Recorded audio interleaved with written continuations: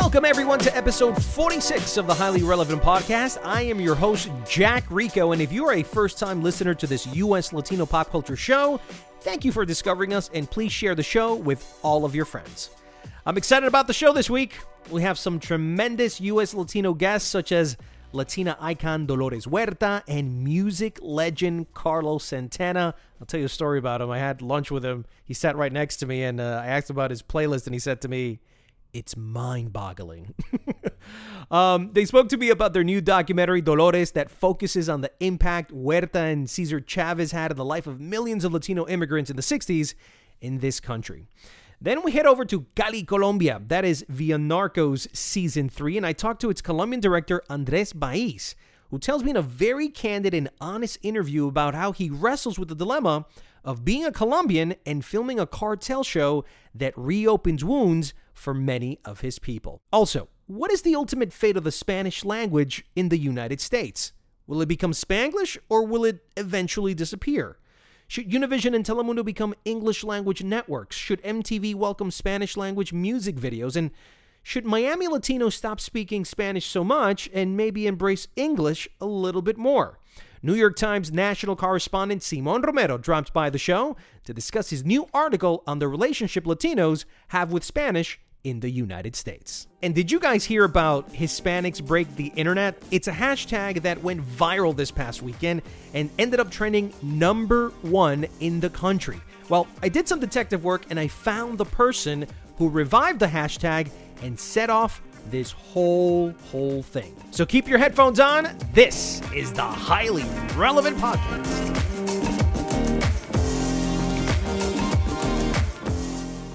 Dolores is an icon. She's a civil rights hero. She's the first general that I followed into war. She's not afraid to speak truth to power. Dolores Huerta, who is an old friend of mine. The FBI knew how dangerous Dolores was. Dolores came up with the slogan, Si se puede. Yes, we can. I was checking my emails the other day and I was invited to this new screening of a documentary called Dolores. It's about the life and struggles of Latina activist Dolores Huerta. Uh, what I was completely unaware of was that I was actually invited to lunch with her, Carlos Santana, and Peter Bratt. That's Benjamin Bratt's brother. And uh, apart from the documentary being very enlightening and setting the record straight on some falsehoods, one of the exciting things for me was to be able to ask them about what this documentary actually represented to us at this time in America, as well as American identity and what we can do to improve our status in this country. Here's a listen at those conversations. So, Peter, um, I hear that you're the director of the, the new Dolores documentary. Uh, how did this project get done? See that man over there, Carlos, Carlos Santana? Santana? Picked up the phone, man, and said, "We got to do this. We got to do this film now." What's your relationship with Carlos, and how how did you guys connect on this particular topic of doing a documentary on Dolores? Uh, he's from the Mission District of San Francisco, and he had seen La Mission, and uh, and we we became brothers. You know, uh, years ago when La Mission came out, and we had always talked about wanting to collaborate, but never really finding the, the one project. And then one day, out of the blue, he called, and uh, he was set on telling this story. Why was he set on this? I mean, because this could have been made ten years ago too. It still has the same relevance as it is today. What, why t- why why now? I mean, that's probably a question better suited for him. It was my mother. Inwardly, my mother passed, but when, uh, after she passed, she told me, "You got to do this. You must do this, and you will do this. You know, I want you to fund it. I want you to that, select the, the, the people who are going to honor this frequency of elegance, excellence, integrity."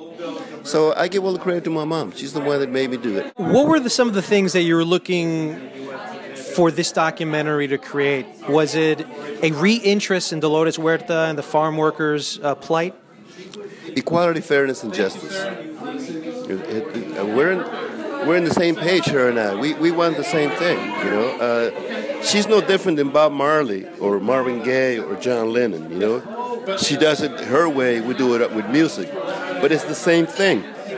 We want to wake up people to their totality. You're not the little me. You're not the little wretched sinner. You're not the unworthy of God's grace. You're not that. You're a beam of light. Carry yourself like it. Dolores Huerta, eh, primero que todo, un placer. Uh, it is an honor to meet you. You're 87 years old and you're still fighting for social justice. Why has this been such an important subject matter for you throughout your lifetime?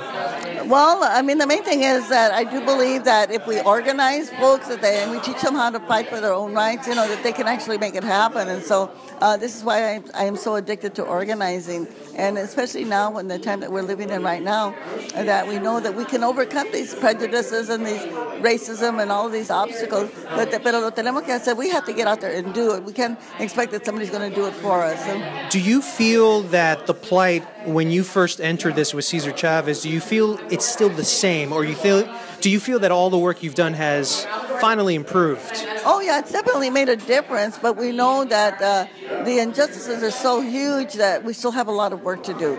But the one thing that I love about the work that we did, and the one thing I love about the, mu- the movie Dolores, it, it, it really gives us a, uh, I think, inspiration to let us know that we can, we can make it happen. You know, when you think of the farm workers that they were against the, the president of the United States, Richard Nixon, the governor of California, Ronald Reagan, right. uh, the, uh, the Farm Bureau Federation, the most powerful organization, and yet we won uh, right, by, right. The, by the power of the people. And so that's you know, really what inspires me to keep working and, and to keep giving people that message and to you know let them know that they've got to get become involved. They've got to become engaged, and then and then we can take the power. We can take that power because it belongs to us in the first place. How do you feel about a documentary being done about you? I heard from many people that you feel you felt almost uncomfortable with the documentary being called Dolores and for it being about you because I know you're such an unselfish person. So many people shared in this. How do you feel about this message about you, your legacy, finally being talked about to a new generation of Latinos and everybody else? Well, the, the thing is that we know in the farmer community we had five people that were killed. The first one, a young Jewish girl from Boston named Ann Friedman. Uh, the second one, a young Arab named Nagi Daifallah. And then Juan de la Cruz, a, a Latino farm worker. Rene uh, Lopez, a young 19-year-old. Otro, uh, Contreras. So all of these people, all the people that were beaten up, all the people that were taken to jail. And so I feel like, you know, uh, I kind of represent, the, you know, what happened, but there were so many people that did the work, you know, to, to be able to finally bring a little bit of justice to farm workers. So in that respect, I just think that uh, for me, I can't really take credit. I'm glad that I was able to, you know, be a part of the movement, to be able to do some of the changes that we did. And all of the people that boycotted grapes, you know, the 17 million Americans, you know. Right. So it's, it's, it's an army of people, you know, that fought for the farm workers. And so that's why sometimes I think that it's wrong for me to take uh, credit, so to speak, because we have to give credit to so many other Absolutely. people. Yeah. In the movie, in the documentary, you said that you didn't feel you were American, that you were never going to feel like you were American. Do you still feel that today? Well, you know, as a person of color, uh, as you know, uh, we get these little microaggressions, uh, you know, every day, if not every week of our lives, and it's still happening. And uh, I think until we kind of erase and abolish the whole issue of racism and sexism, then I do you think that's something that can actually happen? I, I, I do. I think it's going to happen. I think it's accelerated now with President Trump. What happened in Charlottesville, where you had uh, I, people who were Anglos who are now being victims of the racism. You know, as what happened in Charlottesville, and of course that happened also in the civil rights movement. But I think that everybody's realizing now that all of us have to do something to end it. You know, it's it's because if not, it's going to bring our country down. Mm-hmm. And our country is, is so powerful in this world; it's going to affect the whole world. And so, it's incumbent upon us now, each and every one of us, especially our organizations, our public organizations, our private organizations, that we all take responsibility and start working to end the racism. So, do you feel American? Do you identify as American or as a Mexicana? Well, I, I consider myself. Uh, uh, a, Mexican American, right? Yeah. Even yeah. though my family's been here for many, I'm like a fifth generation in the United States of America, you know. And uh, but I think that yeah, I still identify I think as a Mexican American uh, because I do believe that that is my heritage, Mm-hmm. and I, and I want to hold on to that heritage, you know, and embrace it. Uh, Right. And that's there's nothing wrong with that. I think that that's I think that's that's the beauty of our country that we can have our culture and we can have our traditions, you know. And yet still be uh, Americans. And, and, and we also say, you know, being American is uh, all the way from from uh, uh, you know Canada all the way to to uh, Peru, you know, because it says this is the Americas. Yes. We are all Americans, and, right. and I think the film is a line there when somebody says we were Americans before, éramos americanos, you know, before America was America. Right. And then my final question is Do you still feel that Latinos are still underrepresented in our country in politics, sports, arts, movies, music? Why do you think that is, and how do we solve that problem? And, and I think a lot of that uh, happened, uh, you know, a few years ago when they started attacking Latino immigrants, and then all of a sudden you saw that instead of increasing our Latino presence, it was actually getting smaller, you know. And I think we can say that too about our African American community also. You know, we are not properly represented, and I How think do we it- solve that? I think that we have to start fighting that even when we think of movies. If it was not for the Latino participation in buying movie tickets, I mean, the industry wouldn't be able to make it, you know? Absolutely, And, uh, and I think we've just got to keep pressuring and, uh, you know, do what we have to do uh, to make sure that that changes. Who is the new Dolores Huerta for our generation? Who that you can put the torch on them says it's now your time to lead us into the next, into the future. Well, I think we've already seen that with the Dreamers. You know, the Dreamers were out there, all these young Latinas and Latinos that were over there fighting uh, for their right to stay here in this country, to be able to go to college, to get their driver's licenses, you know. And so we see a lot of, uh, all around us. Uh, there's a Gabby Pacheco uh, who is from, uh, I, I, she's from uh, Central America somewhere, and she's a big uh, leader in Miami, and also she did the Thousand Mile March all the way to Washington, Yeah. D.C. for the Dreamers, you know. And there's so many of these young women that are out there. I see them everywhere. They just we have a lot of a lot, a lot of young people that are going to definitely uh, make major, major strides and make major improvements in our country. Latina girls need to see statues of you. We really got to set the record straight. I mean, women cannot be written out of history.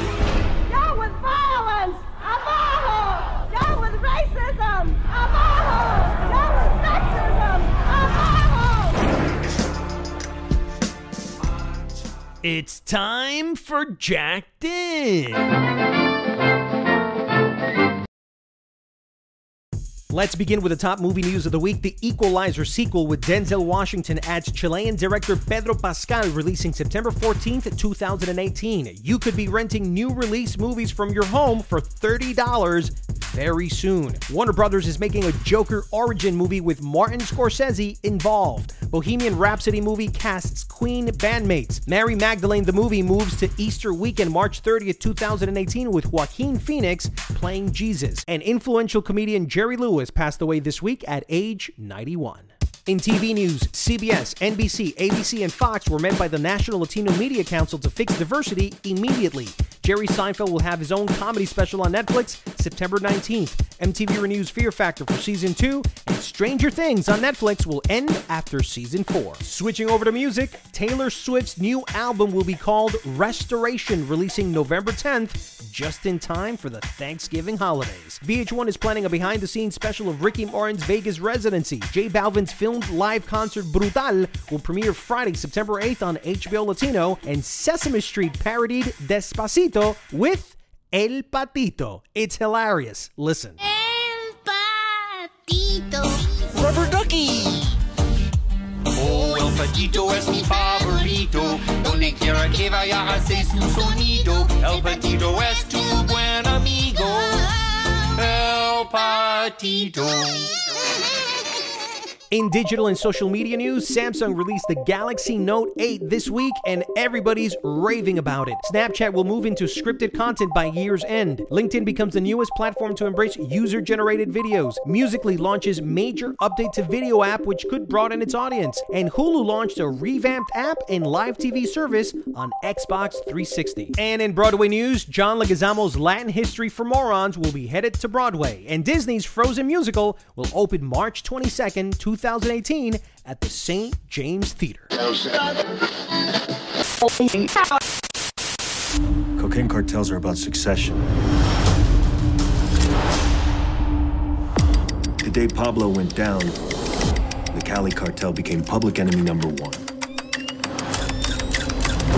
Their operations had grown into the biggest cocaine cartel in history.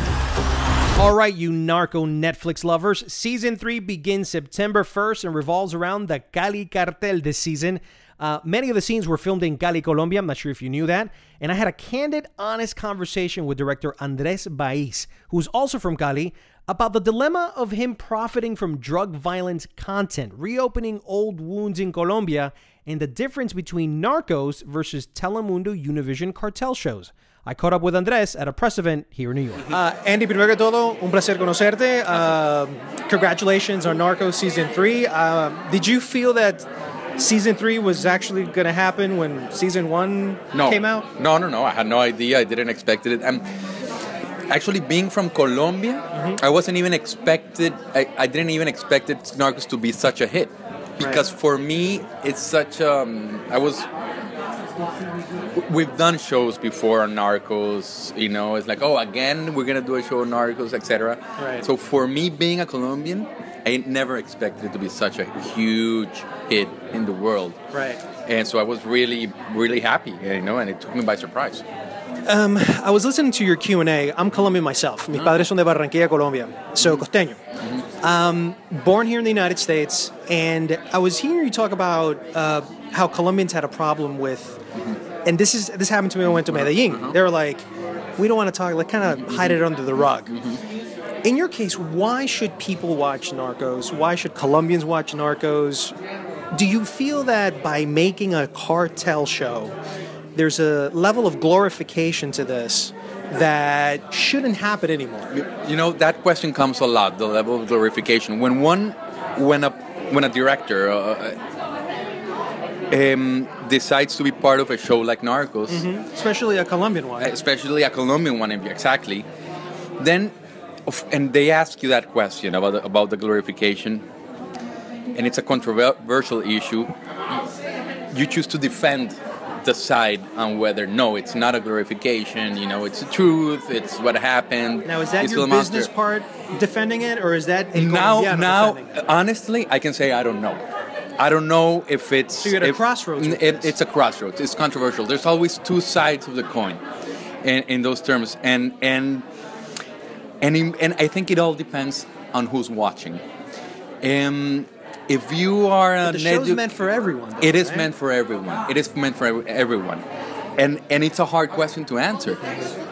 I, as a director, I'm I'm so happy that I can do a show that involves that I can do poetry with the filmmaking, you know. And if the audience is when they watch the show and they watch specific scenes that I love and I know there's art in it, Right. and they're able to see that art, then for me as a filmmaker, I'm happy. We never try to, we never try as filmmak as filmmakers or writers to glorify. We never try it.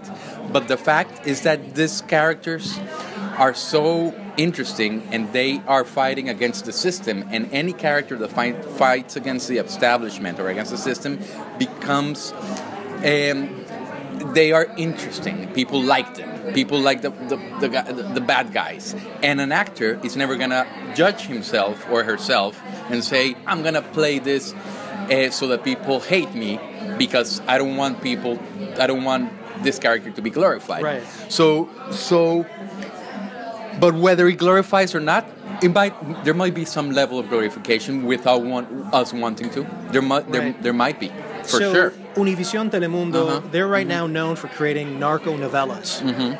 Uh, you have La Reina del Sur. Mm-hmm. What is your perspective on the way Spanish language television uh, represents these types of narco content compared to what you're doing at Netflix? Oh, oh, for me, it's hundred percent different. I don't. I as a filmmaker, I wanted. I want to do a show where I have free creative freedom, where I have where I have time to do to do scenes that I you know I can I so they they have a certain standard of quality, and that I, um, that actors have the time to find the truth right. in their in their you know in their craft and um, of course we have more money to do it but also there's a f- there's a freedom given to the creative minds in the show uh, and that's why I think there's a lot of poetry in the show Mhm. so and there's a lot of re- again w- one ano- another thing that I think is beautiful about Narcos is that it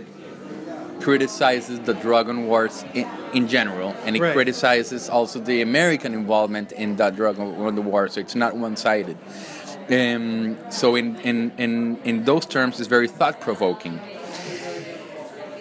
I don't even watch the narco novelas. I don't care for them. they, if they offered me one, I would say no, just because because now, you were part of the Metastasis, right? I was part of Unimas, that came out Metastasis, of yes, which was completely a remake of the American version, but made much faster. Breaking Bad, uh, the Breaking Spanish, Bad, right? yes, the Spanish version. It's a copy. That's what it is. Yeah. You know, uh, did I had fun doing it? Of course. um, did they take a risk doing that that show? Of course. It's a ri- you know they don't write shows like that in Latin America with those certain you know with that types of risks. So it was I was very very happy and I learned a lot uh, to be part of it. But I don't like the way those products are done. I Is wanna- it the format? The format. The format. I'm talking about the Describe format. the format. What's The, that uh, big difference? The big difference is that is that we in Latin America we don't really have seasons. We don't we don't you know so. It's a or- or- continuous- I'm going to talk about Colombia specifically, sí. and I know this is this applies for many other countries, but we, you know, uh, for example, Narcos, we we do ten episodes in eight months. In Colombia, they produce seventy episodes in six months. Okay, Yeah, it's a factory. Okay, it's, Yeah. it's a factory, and we, when there's no.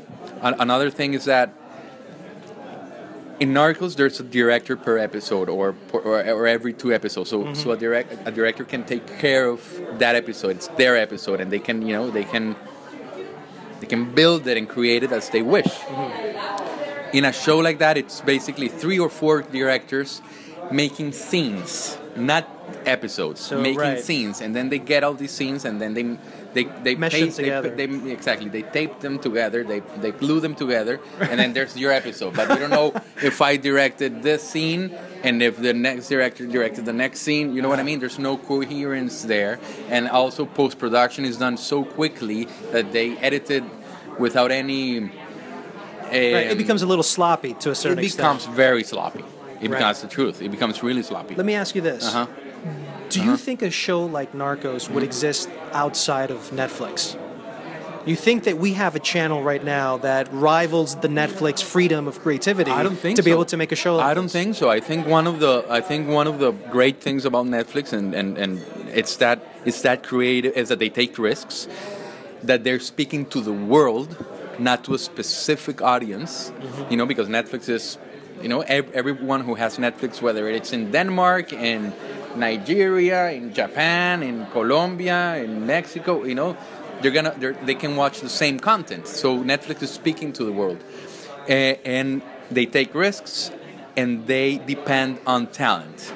You know, it's it, people always say that television is a producer's medium. Well, Netflix has made it more of a uh, a filmmaker's medium. That's cool. You know, and That's and, great. and that's what I love about it. Mhm. The appeal of narco content, narco shows. Queen of the South on USA, Mm-hmm. obviously it's all over uh, Spanish language television. Uh, ABC was trying to do one called Las Reinas. Mm-hmm. Uh, what is the appeal? What is it that people like so much about drug lords and violence and I think it's. I, I mean, violence. I think it's just part of our nature, and there's a cathartic element. I think, in, in- not about narco uh, shows per se, but I think violence in film and television. I think there's a cathartic element uh, uh, because violence. We need to accept it as part of our DNA in a way. it's a primal It's instinct. primal instinct. Now, why Narcos? I think I don't know. I don't have the the, the answer, uh, but the but I do think that it has to do with the fact that Narcos are um, they're anti-establishment, and and and they buck against ex- law. They buck against law. They buck, buck against elites, economic, you know, economic elites, political elites. Kind of populism today, you know. so, uh, uh, um, and that cre- that people like that. People, you know, they see, they can, you know. Uh, it's a it's they see in them a way to express their own anxieties, their own um, eh, what, you know what they're mad about, or you know, what, I think so. It's one of my Right. one of the many theories. Um, there might be another reason, which I, I would ha- I would hate if it's this, is that you know uh, the fact that these people get rich so quickly and they buy Lamborghinis and Ferraris and and and, attractive. and, and it, that's attractive, but that's that's what is least attractive to me as a filmmaker. You know that I won't. You know I think consumerism society is the worst thing that can happen hap, happen to the world. I agree. And and um, and I would hate audiences to find in that a, a truth or that's where happiness uh, lies. You know. Right. Yeah. Final Uh, question. mhm, mhm. You talked about how Colombians uh, that watched the show felt that the controversy was that the accents What's were one of what's one of the That affected me too, and I Uh-huh. think that every Colombian that watches that understands phonetically what accents should be like. Mm-hmm. Where do you lie? Where do you stand about authenticity when it comes to accents and roles within actors in a Hispanic content? Well, you know, it's it's it's uh, Latin America in general. It's it, if you go to Chile, to Peru, to Argentina, to Colombia, to Bolivia, and you know, it, they, everyone speaks a very specific accent. You can when you when you when you meet someone from Venezuela, when you meet someone from Mexico, when you meet someone from Argentina, from Chile, you can r- tell right away immediately immediately that they're from that country. Um, eh, in Colombia, you can bring that to the specific. You can know if a person is from Cali, from Medellin, from Cartagena, from Barranquilla, from Bogota. It's actually accents in Colombia are very much specific from Mhm. region to region. That authenticity is important, and, and I understand that uh, the, the immediate reaction you have when you watch an act, when you It's hear an actor, it's distracting. What I what I say in favor of the opposite is that I prefer to work with a great actor with a bad accent than with a okay actor And that great does accent. that with a great actor. Uh-huh. That's true. Ajá, All right. Andrés, muchísimas gracias. ¿eh? Muchas gracias.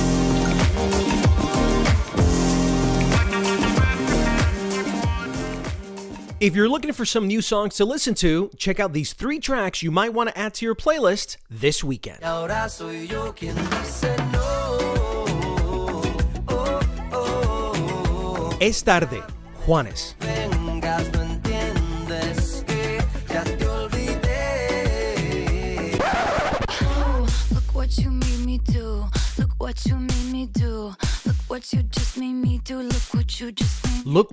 me do. Look what you made me do. Look what you made me do. Look what you just made Look What You Made Me Do, Look what you made me do. Look what you just made me do. Look what you just made It started when I looked in her eyes. I got close and I'm like, bailemos. Eh, la noche está para un reggaetón lento. Esos que no se bailan hace tiempo. Reggaeton Lento, CNCO featuring Little Mix.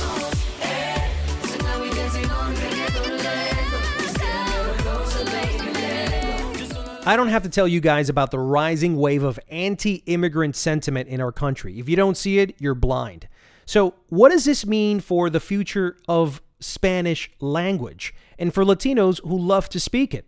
Is it here to stay? Is it going to evolve into Spanglish or will it disappear? New York Times national correspondent Simon Romero wrote an article this week that explores the topic of Spanish, its history, its present time, and its future. He joins me now on the podcast. Thank you. It's a pleasure to be here with you today. Now, the timing of this article is very interesting because this comes at a time to me where Spanish, little by little, as a Hispanic, as a Colombian American who speaks English first and Spanish second, and who has a mom who still watches Univision and all the, you know, the Paquetazo Time Warner cable, you know, uh, channels and everything. Um, how I've seen Spanish slowly start to erode from our country and this has this is proven through uh, research from the Pew Center. This has been proven from the rating declines at Univision and Telemundo, uh, the immigration uh, declines, uh, as well as the government who's actually driving it. And it's coming also at an anti-immigrant sentiment in our country that's led mostly by the White House.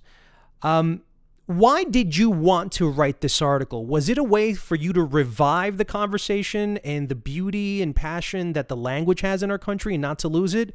What experience did you go through that sparked and triggered this article? It's just a wonderful question. Um, I've uh, long been uh, just fascinated and intrigued by all of the different languages that that we speak. Um, for uh, the previous 11 years, I mean, I was based in Latin America as a foreign correspondent for the New York Times. Um, uh, six years in Brazil, and then five years before that in Venezuela. So I roamed around the region, and I just moved back to the United States to take up this new posting as a national correspondent uh, based in the Southwest in Albuquerque um, last month. So just I've only been back for a few weeks, and I was really just struck um, by the by how much um, by the spread of Spanish in the time when I've been out of the country, especially in New Mexico, which I was born and wh- where I grew up. I mean, Mhm. you know, I, I grew up uh, speaking Spanish, mainly Spanglish, you know, the, the mixture of the two languages.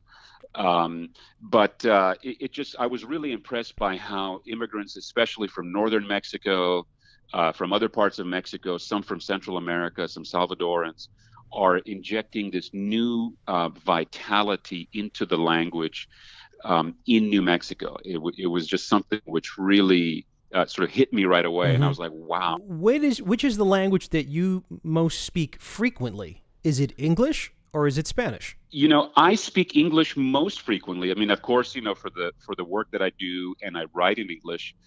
But at at home, actually, I speak largely English and Portuguese because my wife is Brazilian, and and that's where my kids have been growing up for the past uh, six years, and they consider themselves to be very Brazilian. So, so you so know, Spanish is not really a part of the everyday language in your in your household and in your professional life. Now, what about socially? Oh, socially, I speak a lot of Spanish socially and professionally. As you know, part of this uh, new job that I'm doing involves covering immigration.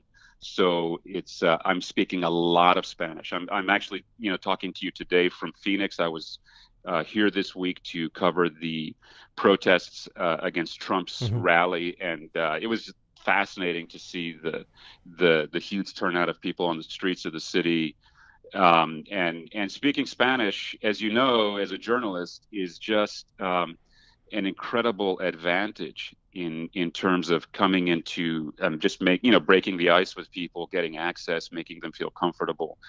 Um, so it's a big part of the job that I do. I, and I should also say that we that we, we do speak uh, you know uh, some Spanish at home too. You know because we know we lived in Venezuela. My wife learned how to speak Spanish there very well.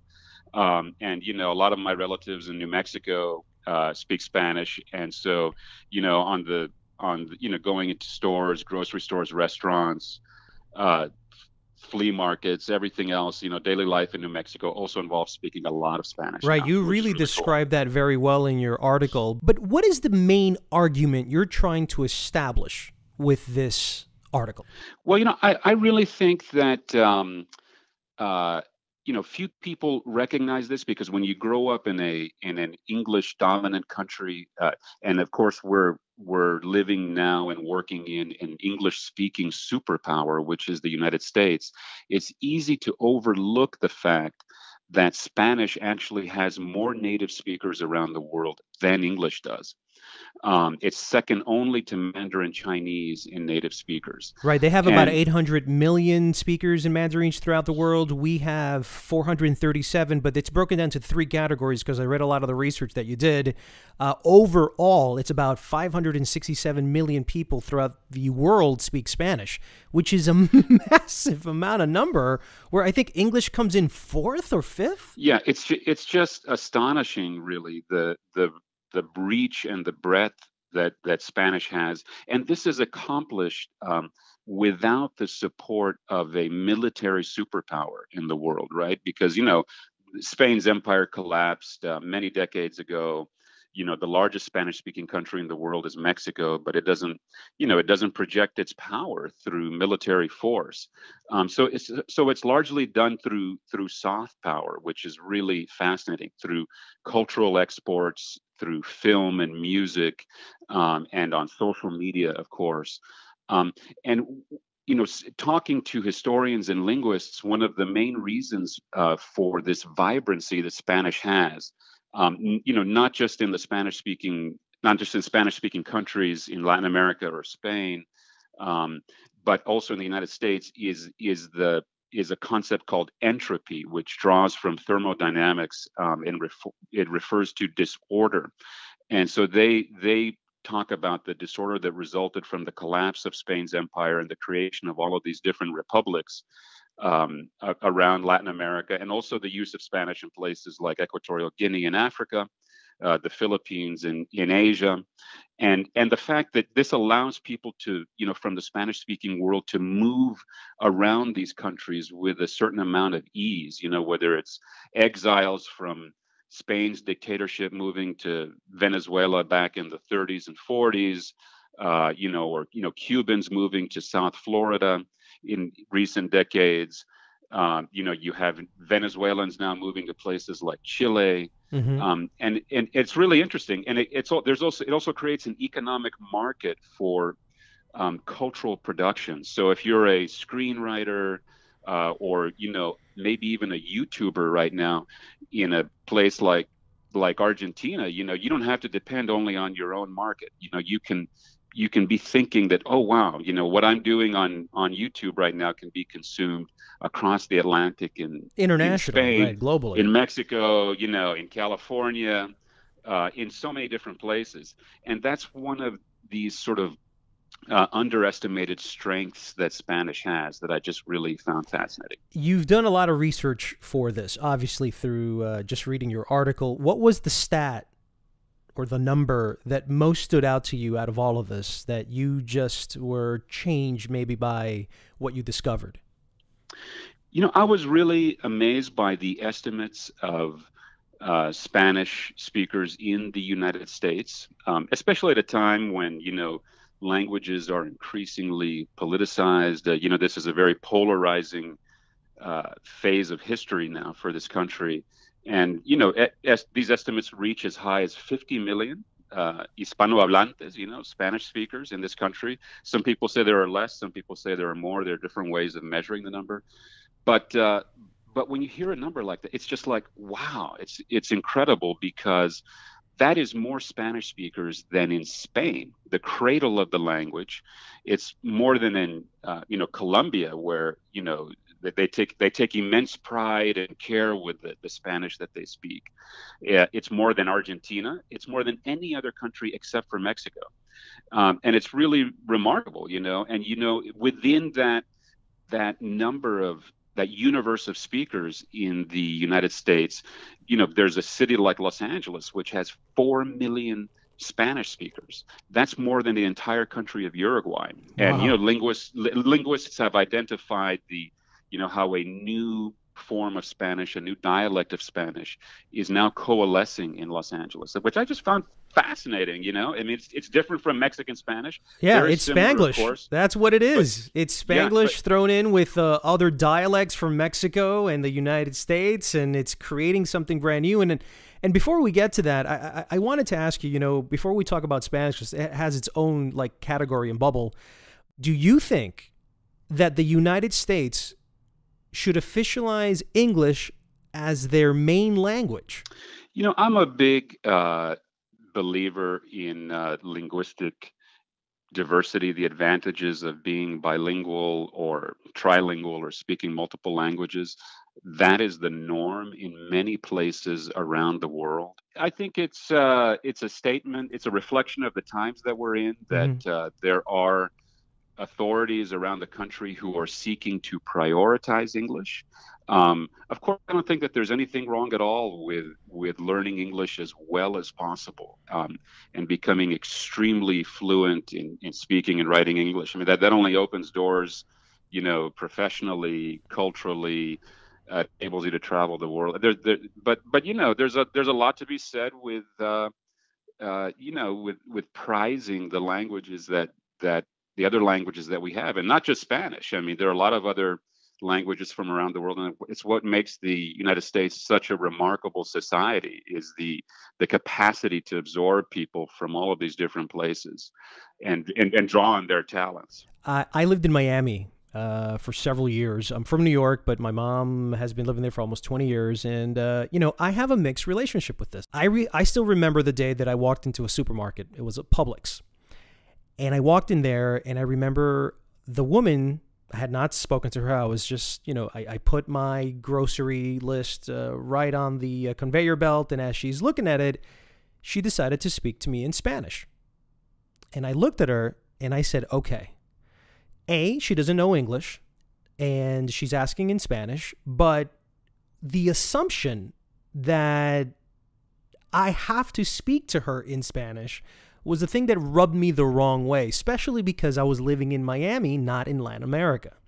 And so in Miami there's there's this tendency to speak Spanish first in the United States. In an in American soil as opposed to English, and I feel like a lot of Latin Americans kind of forget that we're living in the United States and that English is probably the unifier language, not Spanish. That that's something that makes them insular that doesn't necessarily make them better. So I feel always that the etiquette should always be speak to someone in English first and then kind of just, you know, make your way to Spanish or another language depending on that. Where do you lie about the lifestyle of language in Miami when it comes to Spanish and people speaking or wanting to speak Spanish first instead of English? You know, I think my, my, Miami is just like uh, uh, fascinating example. I'm always like amazed when I, you know, the moment I land in the Miami airport, I, you know, get into a uh, a car or rent a car, and, and people start speaking Spanish. I'm like, wow. Uh, I, I find it really cool, actually. I mean, I, and it's also like almost a reflection of the the economic lifeblood of the of the city. Um, in that you know Miami is a crossroads for many people from from around Latin America. It's a place where they do business, they do banking, uh, you know, they produce music, they produce culture, um, and then they export it, uh, you know, all around the region. Um, and so I think it's a, in, in in some sense, you know, a recognition of that that strength that Miami has. Um, interestingly enough, you know, in in speaking with linguists in Miami, they they tell me that Spanish is actually starting to fade. Um, among Really? um, um, among new generations, yeah, among uh, children of immigrants, even even immigrants themselves who came to uh, Miami to, at a young age, that there is a a a a status preference among some people to prefer Oh, English wow. over over Spanish. So so they they explained that Spanish may not have its sort of place at the at the top of the hierarchy in Miami um, for much longer. I found that amazing. I mean, it's really interesting. I do because, too. You know, as you s- you you know, said. yeah, it, it was it was just fascinating, and and I guess there are you know there are various reasons for that. Um, you know, English has a special cachet. I mean, of course, you know people want to you know move up in life. They want to you know aspire to they- bigger things. They, they, yeah. want, they, they want to aspire to bigger things. They want to go to university, and they they want to do that in the United States. And to do that, you need to speak English very well. right. Um, so so even in Miami, there's this sort of sense of flux that is that is taking place. I couldn't Mm-hmm. work that into the article. You know, there wasn't enough space, unfortunately. That's I why this I just- podcast is here. You I get to really squeeze found it in now.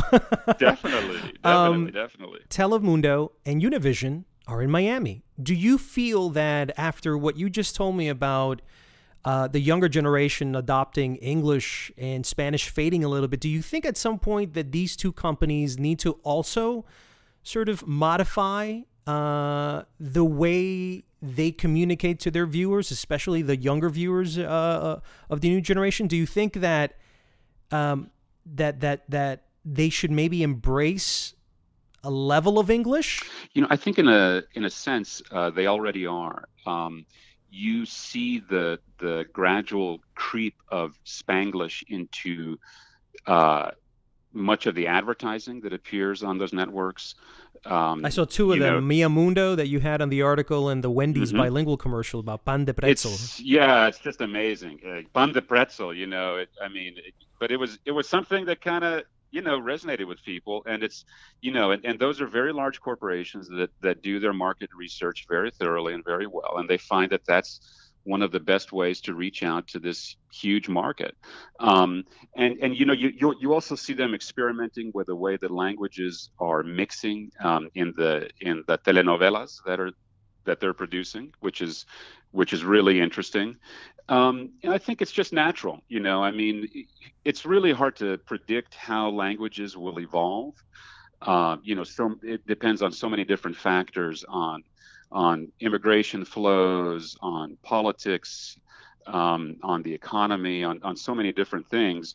But you know, historians sometimes compare where where Spanish is at right now in the United States, at least, the way that it's mixing with um, with English to such a large extent, uh, with where Spanish was back in the 12th or 13th centuries, um, when it was mixing a lot with Arabic. You know, the, the Moors had made these huge inroads into the Iberian Peninsula at that time.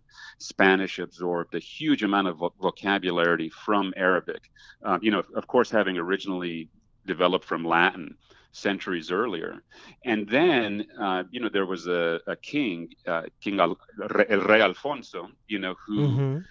Who spearheaded this effort to to really establish the the grammatical structure of Spanish in a very coherent way and start using Spanish as a language of knowledge um, and, and a language also of the of the uh, royal bureaucracy, which was a, a very important move in sort of elevating the status of Spanish. And you know, Spanish was was at that time a mixture of these different influences. You know, language. Right. You know, as as as is English in many ways. You know, drawing on its Germ- Germanic roots. Uh, you know, the Norman invasion, the, the influence that French has had. Um, and you know, it's easy to also overlook sometimes, but Spanish has already influenced language. Uh, you know, the the English language in oh, many absolutely. ways. Yeah, yeah. You Um, can see it in movies. You can see it in pop culture. Um, Yeah. And, and speaking of Yeah. that evolution of Spanish, do you feel that we should legitimize Spanglish as a language since that's where we headed to? You spoke about how many grammar professionals eh, are irked when people speak Spanglish, but when you talk to like groups like Bombay and you listen to the music scene at this moment, you notice that they're speaking bilingually. So, is there a an argument to legitimize Spanglish in this country? You know, it's a it's a fascinating discussion, and uh, even the sort of the most ardent, uh, you know, grammarians out there sometimes recognize that it's beyond their control. Um, the ways in which people, you know, use language, um, especially when it comes to uh, music and writing and and uh, poetry, film, and everything. You know that reflects the way that it's used on a daily basis, and in a way, it's kind of like anarchic and chaotic. So it's really challenging to try to to try to assert control over that process. Um, I think that Spanglish has much greater a, a, a bigger degree of acceptance of acceptance today than it did, say, 10 know, years even like a decade or a Mhm. decade and a half ago. Um, you know, you see scholars who are translating works like Don Quixote or you know The Little Prince into Spanglish. Um, you you see just a lot more Spanglish that's used, especially in in advertising as companies sort of you know try to reach out to these new markets. Um, so I think some of that is just inevitable. Um, and and again, it's all happening in this immense kind of laboratory that the United States is yeah, the for the language. of languages Yeah, and, uh, yeah, and, cultures. and, it, and it's starting to influence the way that Spanish is is used in other parts of the Spanish-speaking world in Latin America. You know, I mean, when you go to, you know, a, a friend just moved to Mexico City, for example, and he was remarking, "Hey, you know, it's amazing how people say bye all the time, when, even even even when they're speaking Spanish. You know, they're like, you know, instead of saying adios." Um, you know, these little things are, you know, sort of happening, and it's just part of the way that uh, that the languages are shifting and evolving. Two more questions, and uh, hopefully you can weigh in on this. I've been having conversations uh, in the last episodes of uh, of our podcast about uh, MTV and how they did not nominate Despacito for their VMAs, which is happening this weekend. And it kind of brought a deeper conversation about language and, and music and, and music networks. And um, do you think that that radio stations, their English language radio stations, English language media outlets, uh, the MTVs of the world, do you think they should start playing more Spanish language music videos? you know, I really do think that some of it is just inevitable. Uh, the kind of, you know, the runaway success of Despacito, whether you like the song or not, I, I personally really do. Actually, I find it just a, an amazing, an, an amazing. It's one heck of a catchy tune.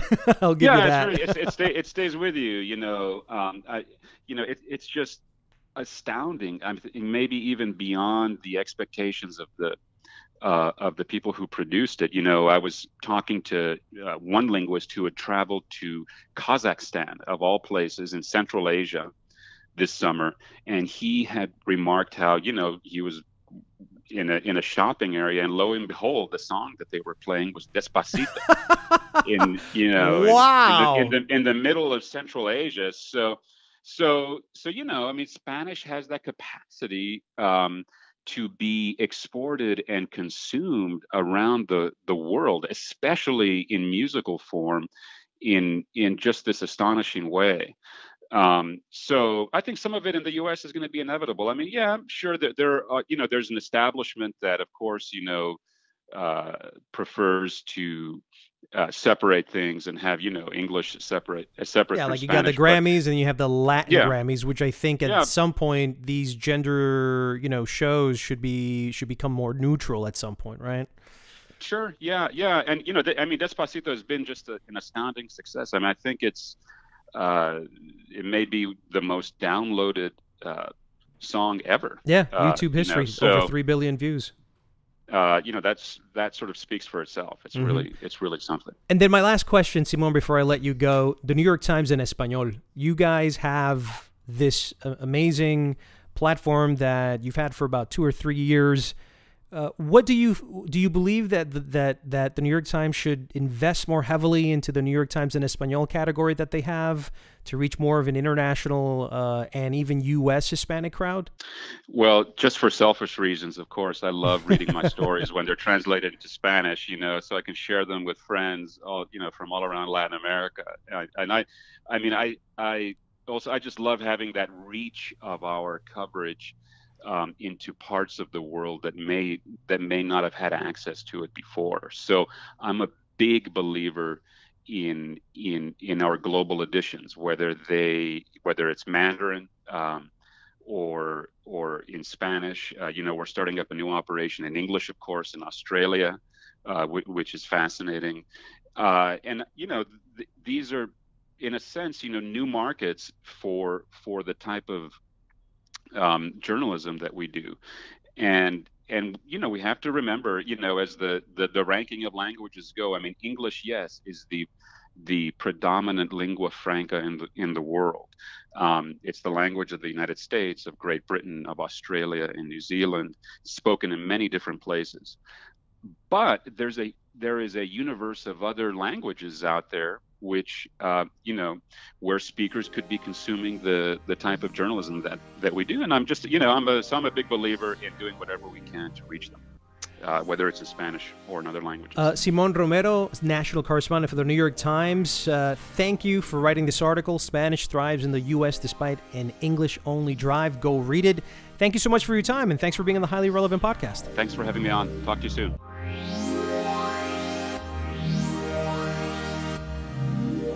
So I got to tell you the story. This past weekend, I was having dinner at a friend's house when my wife came in and said to me, "Hey, there's a hashtag by the name of Hispanics Break the Internet that just trended number one on Twitter." Uh, when she said that, my first reaction was of surprise, since I feel like we're kind of invisible outside of the music scene right now.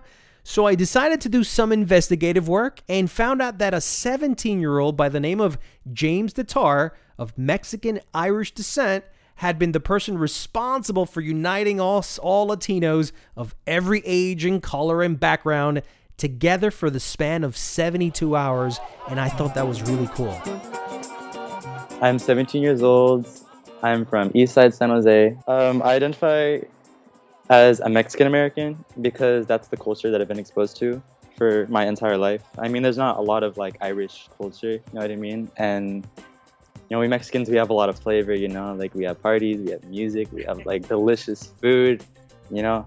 At my old school, I was one of the only brown people. The I was like I went to a private Catholic school. Everyone was really like, you know, they were white. but I didn't realize I was definitely an outsider. And I was called like beaner, I was called brownie. And I didn't even realize that that was like a bad thing. I didn't realize I was being insulted. Yeah, until I reached high school. Like I reached my freshman year in high school and then I was like, "Oh, maybe they shouldn't have been calling me that." And I think that's terrible. um honestly, I don't take Twitter that seriously. I only use Twitter in my free time at my house. Um, if you ever see me in public, I, like I hate being on my phone. Like I hate like I feel like I'm rude. Like there's so much in front of you, and you're like, how are you just gonna sit on your phone? The main reason I don't speak Spanish is because my mom just never taught me. Yeah. So there was a kind of like a trend last August, the break the internet trend, you know, and it was started by black girls, like you know. So in June of 2016, um, Black Girls Break the Internet was trending for a while. And shortly after that, Black Boys Break the Internet was trending. And then other communities kind of caught on after a little bit. And it was Hispanics Break the Internet, um, Asians Break the Internet. And, you know, like, we all had the spotlight on us, like people of color. I thought the Latino community could use a good pat on the back after I heard about all the, the Nazis and the white supremacists rallying in Charlottesville you know, everything's pretty uh like dark and scary right now, and I think the hashtag is like a ray of sunshine. Whenever I post pictures of myself, they do garner like a little bit of attention. So I wasn't surprised when other people started using the tag, but I was most definitely surprised when I saw that it was trending number one. I didn't really care too much about like um the fact that I was trending, but the fact that the members of like my community were like showing so much love and support for each other, it restored my faith in humanity a little bit. You know what I mean?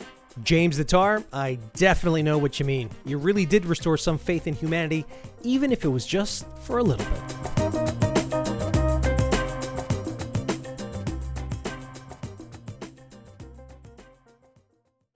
And before we wrap up here, I leave you with Telemundo anchor Jose Diaz Balart's impassioned speech this week on the Premios Tu Mundo award show. It was a speech against hate and discrimination in light of the recent events in Charlottesville, Virginia. It's an inspiring moment for the week ahead. Hope you can take something from it. Listen. En el marco de la alegría de esta celebración, no podemos olvidar que vivimos en tiempos en que el odio y la discriminación racial han cobrado fuerza en Estados Unidos.